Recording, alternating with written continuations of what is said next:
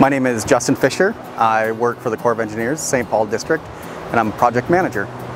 This is a unique design in a lot of ways because we've used what's called a sinusoidal design. And really what it is, it's interlocking S-shapes within this system. The goal is we have these large boulders. A lot of times they have a five foot face on all directions or similar in shape. And they're placed in a manner that elevation goes down into the riverbed, but also keeps consistency of allowing for only a certain amount of water over the top. This creates dead spaces behind the water that fish can actually move, rest, and not feel that push and continue moving through those boulders.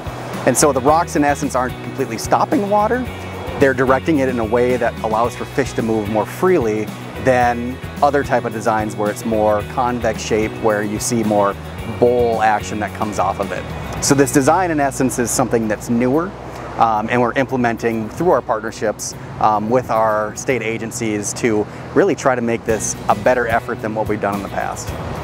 This is a great opportunity for the public. Um, this is one of the biggest fishery areas for the Red River. And with Drayton removed, we still have the full parking lot here, but we've also increased access with the development of a fishing pier area. And this will allow for passageway through walking from the parking lot over to concrete fishing piers that allow people to fish freely on the upstream side as well as the existing area down below where this fish passage is.